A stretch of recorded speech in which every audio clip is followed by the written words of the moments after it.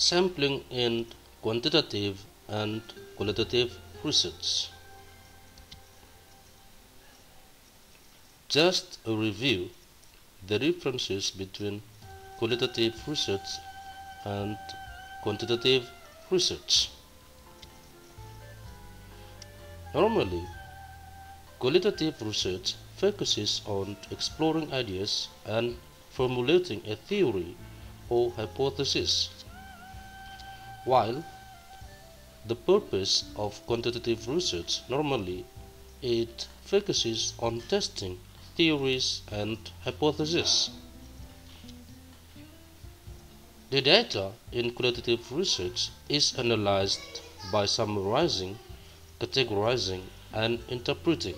In other words, in qualitative research, the data is analyzed descriptively, while in quantitative research, the data is analyzed through math and statistical analysis. Therefore, in qualitative research, the research results or the conclusion is mainly expressed in words, while for quantitative research, the research result is mainly expressed in numbers, graphs, and tables. Dealing with how a sample is chosen in qualitative research is not predetermined while that is in the opposite. In quantitative research, the population and sample must be predetermined first. And now we are going to cover what are the differences of taking or choosing the sample in both qualitative and quantitative research. Firstly, sampling in quantitative research. In quantitative research, a sample is selected in such a way that it is unbiased and represents the population. Unbiased and represents the population means, for example, the number of the population is 500 people. Then the researcher takes only 50 from them. Then the term unbiased means the 500 people has equal chance to be 50. It means each individual in the 500 people or in the population must have equal chance to be taken or to be included in the 50 or in the sample. While represents the population means even in this case the sample chosen is only 50 but it must represent the population or the 500 people that is the meaning of unbiased and represent the population now how the 500 people has equal chance to be 50 and how 50 represents 500. Therefore, this must be done by randomization. Randomization means it is used to avoid bias in the selection of a sample and is selected in such a way that it represents the study population. In addition, randomization is done so that all the member of the population has equal chance to be selected as the sample.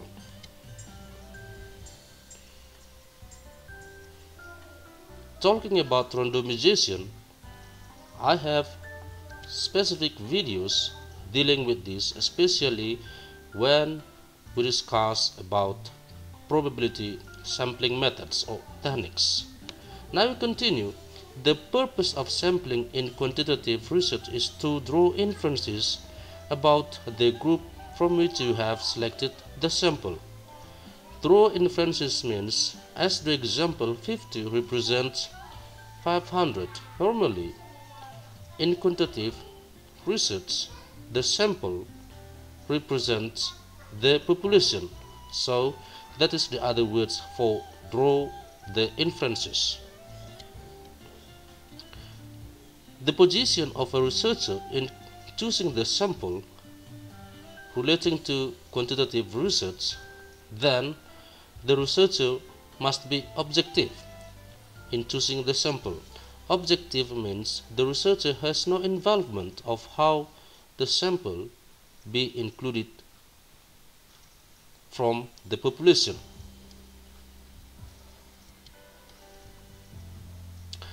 For example, if you are the researcher in quantitative research, you are guided by predetermined sample size. Predetermined sample size means the number of the sample must be determined first before the data is obtained in the research. Now we continue to part B, sampling in qualitative research. Just in the opposite of quantitative research, in qualitative research, the number of sample chosen from a population is not predetermined by the researcher. Is not predetermined by the researcher means the number of the sample in fact is determined by point of data saturation. Data saturation again means the researcher stops to obtain the data or to get the data from the sample when there is no new information. In other words, the data is negligible. Or, in other words, I can say that data saturation means when the researcher thinks that the research question is already solved.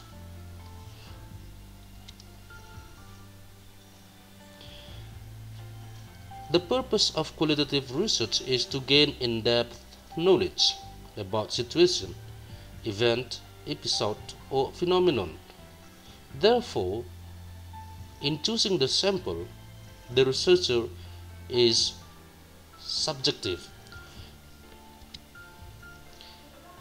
Subject, subjective means, for example, the number of the population in qualitative research is identified, in other words, it is unknown.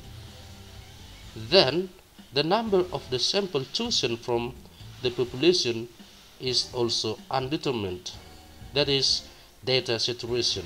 In other words, once again, in qualitative research, in choosing or in having the number of the sample, the researcher stopped collecting the data when the data is in saturation. It means no need to get more information. In other words, the research question is solved.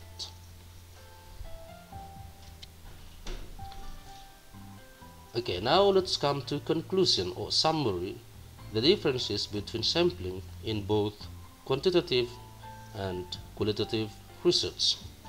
The first point is dealing with sample size. In quantitative research, the sample is predetermined by the researcher. So, the population and sample are identified first before the data is obtained by a researcher. While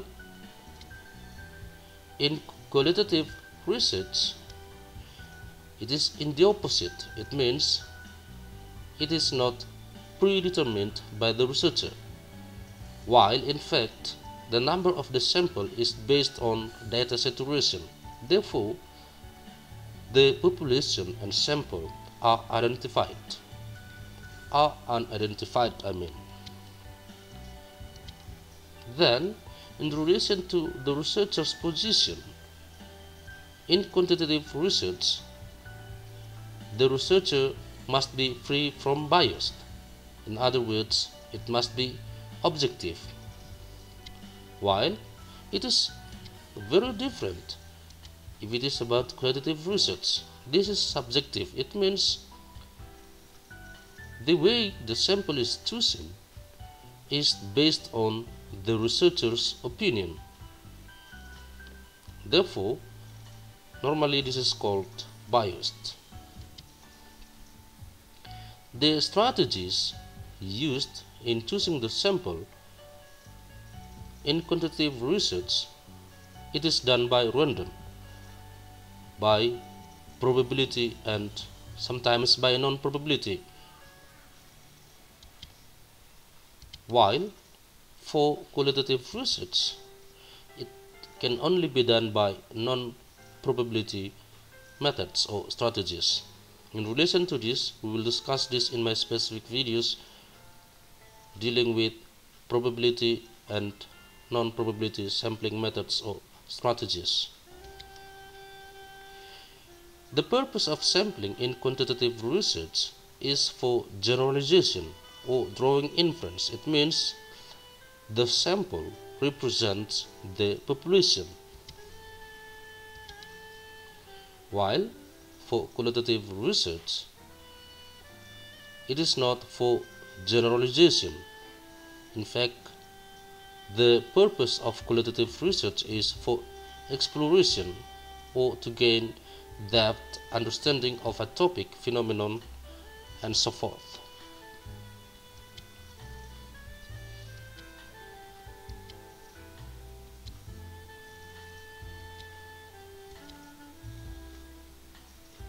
Well, that is our discussion dealing with sampling in both qualitative and quantitative research. Now, you may continue to learn how the sample is chosen by probability and non-probability sampling techniques or methods. Thank you for watching.